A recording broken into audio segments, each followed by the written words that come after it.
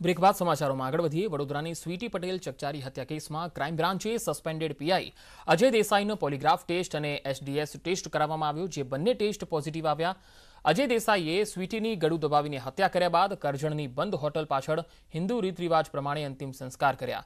જેના પગલે પોલીસે આ જગ્યાએ ખોદકામ કર્યું, જેમાં સ્વીટીના હાથની આંગળીઓના અસ્થિ, બ્રેસલેટ, વીટી અને પાંચ દાંત મળ્યા.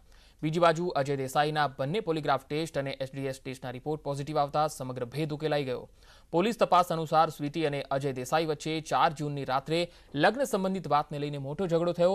રાત્રે સાડા બાર વાગે પીઆઈ દેસાઈએ સ્વીટીનું ગળું દબાવીને હત્યા કરી અને લાશને ઉપર બેડરૂમમાં મૂકી દીધી. આખી રાત લાશને બેડરૂમમાં રાખ્યા બાદ બીજા દિવસે હત્યારા અજયે લાશને કરજણની બંધ હોટલ પાછળ હિન્દુ રીત રિવાજ પ્રમાણે અંતિમ સંસ્કાર કરી દીધા. સ્વીટીનો પતિ અજય દેસાઈ વડોદરા એસઓજીનો પીઆઈ હતો.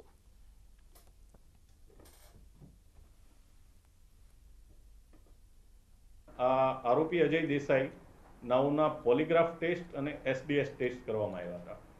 જે બંને ટેસ્ટના એફએસએલ તરફથી અહેવાલ અમને મળેલ છે અને જે બંને ટેસ્ટમાં આરોપી અજય દેસાઈના જે ટેસ્ટ કરવામાં આવ્યા છે જે પોઝિટિવ છે એ જ રીતે કે જે ગુનો, જે બનાવની હકીકત છે, એને સમર્થન કરતા રિપોર્ટ પૂર્ણ મળી આવેલ છે. આણંદના થામડા ગામની પરિણીતાના આપઘાત કેસમાં પોલીસે તપાસ તેજ કરી છે. પરિણીતાએ સોમવારે અગમ્ય કારણોસર ગળે ફાંસો ખાઈ આત્મહત્યા કરતા યુવતીના ભાઈએ તેના મૃતકના પતિ, મૃતકના સાસુ, સસરા સામે મોત માટે દુષ્પ્રેરણાની ફરિયાદ ઉમરેઠ પોલીસ મથકે આપી છે. ઘરમાં કંકાસ બાદ મૃતક પ્રવીણાએ તેના ભાઈ સાથે ફોન પર વાત કરી હતી, જેની ઓડિયો ક્લિપ પણ વાયરલ થઈ છે, જેમાં તેણે તેના પતિ, સાસુ, સસરાના ત્રાસની આપવીથી તેના ભાઈને કહે છે.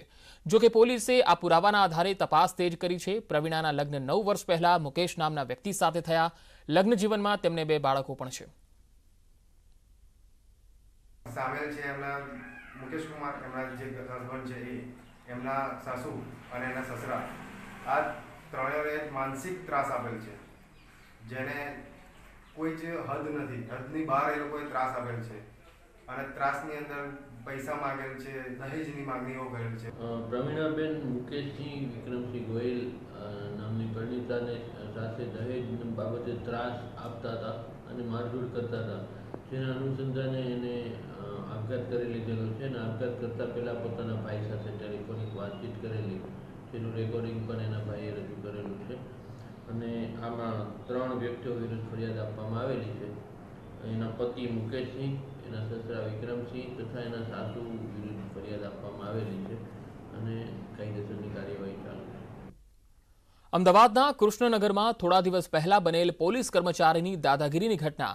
કૃષ્ણનગર પોલીસે સીઆઈડી ક્રાઇમના સસ્પેન્ડેડ કોન્સ્ટેબલની ધરપકડ કરી છે. આરોપી ઘટના બાદ ફરિયાદ થતાં ઉદયપુર જતો રહ્યો હોવાનું સામે આવ્યું. આરોપી પોલીસકર્મીએ સિનિયર સિટીઝન એક્ટિવા પર ઘરે પરત ફરી રહ્યા હતા ત્યારે તેમને અટકાવીને હુમલો કરી ઢોર માર માર્યો હતો. અગાઉ પોલીસ કર્મચારી ભાવેશ રાવલ અને તેના મિત્ર ભાર્ગવ પટેલે સોસાયટીની ઓફિસમાં પ્રવેશ કરીને ધમકી આપતા ફરિયાદ થઈ હતી. તો સસ્પેન્ડેડ કોન્સ્ટેબલને વૃદ્ધે જે રીતે માર માર્યો હતો, આ કોન્સ્ટેબલની ધરપકડ કરી લેવામાં આવી છે. આરોપી ઘટના બાદ ઉદયપુર જતો રહ્યો હતો. કૃષ્ણનગરમાં રક્ષક જ ભક્ષક બન્યો. આખરે તેની ધરપકડ કરી લેવાઈ છે.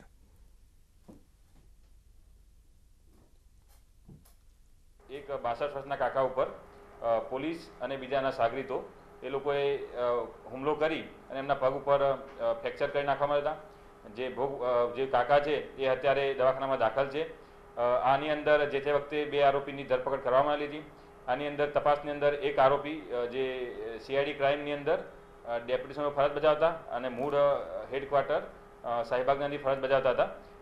તેઓની ભાવેશ જયંતિલાલ રાવલની ગઈકાલે ધરપકડ કરી અને આગળની કાર્યવાહી વડોદરામાં સાત લાખ રૂપિયા પડાવનાર ટોળકી આખરે ઝડપાઈ છે. રાજમહેલ રોડ પર મોબાઈલ એસેસરીઝનો વેપાર કરતા વેપારી પાસેથી જથ્થાબંધ માલ લેવાની લાલચ આપી કરજણમાં દુકાન બતાવવાના નામે લઈ જઈ રસ્તામાં માર માર્યો હતો અને ત્યારબાદ જીતસિંહ ઉર્ફે ધવલ રાવત આંગડિયા પેઢીમાંથી સાત લાખ લઈ વડોદરા ડભોઈ રોડ પર એક કારમાંથી ઉતરી બીજી કારમાં ફરાર થયો.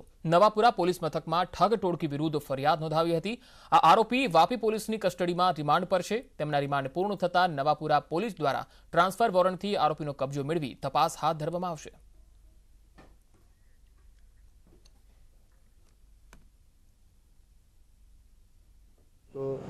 मान मान कर मैंने एडजस्ट करके पेमेंट आंगड़िया में से दिलवाया एक में पाँच दिया एक से दो दिया तो फिर उन्होंने मेरे को बाद में धमकाई भी करी बोला अभी तो दो चार दिन कहीं पे जाने का नहीं नहीं तो तेरे को मार देंगे किसी को बताना मैं मैं बोला ऐसा तो कैसा है फिर मैं बेहोश हो गया मेरे को इंजेक्शन भी लगाया और मैं किसी को भी बाद में बताया नहीं मैं पंद्रह बीस दिन बीमार हो गया જે પાછળથી નામ જાણવા મળ્યા છે વિકી વિનોદ અને બાબુ આવા ત્રણેય એની જોડે. બેટા કે મારા મિત્રો છે, આપણે જોડે જઈએ.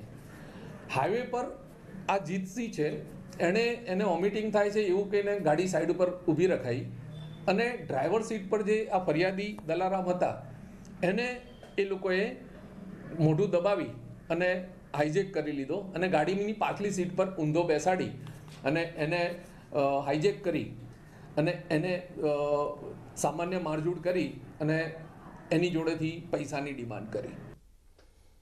ગુજરાતના પ્રતિષ્ઠિત વિનસ ગ્રુપે ગુજરાતની પ્રથમ પાંચ લેવલ બેઝમેન્ટવાળી સ્ટ્રેટમ નામની સ્કીમ તૈયાર કરી છે. ભારતના પ્રખ્યાત કોન્ટ્રાક્ટર શાપુરજી પાલોનજી દ્વારા તૈયાર કરવામાં આવેલી આ બિલ્ડિંગ અમદાવાદના સૌથી કનેક્ટેડ વિસ્તાર નહેરુનગરમાં આવેલી છે. આ કોમર્શિયલ સ્કીમ અનેક વિશેષતાઓ ધરાવે છે. સૌપ્રથમ આ બિલ્ડિંગ સિંગાપુર સ્થિત આર્કિટેક્ટ એઈડીએએસ દ્વારા વિશ્વસ્તરીય ડિઝાઇન ધરાવે છે. તમામ ઓફિસ ક્લિયર વ્યૂવાળી અને ફ્લેટ ટુ સ્લેબ ટેકનિકથી નિર્મિત છે. તો સૌથી કનેક્ટેડ વિસ્તાર નહેરુનગરમાં આ સ્કીમ આવેલી છે, જ્યાં પાંચ લેવલ બેઝમેન્ટવાળી ગુજરાતની આ પ્રથમ ડિઝાઇન જે છે એ તૈયાર કરી છે. જાણીતા કોન્ટ્રાક્ટર શાપુનજી પાલનજી દ્વારા આ તૈયાર કરવામાં આવેલી છે. વિનસ ગ્રુપ દ્વારા નિર્મિત સ્ટ્રેટમ સ્કીમ છે. અમદાવાદમાં આ પહેલીવાર આવું કોઈ કર્યું છે? કે ફોરેનનો આર્કિટેક્ટ હોય અને શાપુરજી પાલનજી કોન્ટ્રાક્ટિંગ કરતું હોય, પાંચ ભોયરા પાર્કિંગ હોય, આ બધું એક એક વસ્તુને જોઈએ તો એ જે છે બધું એક એક કસ્ટમરને, એક એક મેમ્બરને, એક એક સ્ટાફને સુવિધા પૂરેપૂરી લોંગ ટર્મ માટે કોઈ તકલીફ ના પડે એવી રીતે વિચારીનું આખું પ્રોજેક્ટ ડિઝાઇન કરીને આખું પ્રોજેક્ટ અમે બનાવેલું છે. એની અંદર ચોથા માળે અમે લોકોએ બહુ જ સરસ એક લોન્જ બનાવેલી છે, જેમાં કોફી શોપથી માંડીને નાની મોટી સુવિધાઓ આપીને કોન્ફરન્સ રૂમ ફેસિલિટીથી માંડીને બધી વસ્તુઓ અમે લોકો પૂરી પાડવામાં આવીશું તો આ બુલેટિનમાં અત્યારે આટલું જ. નમસ્કાર.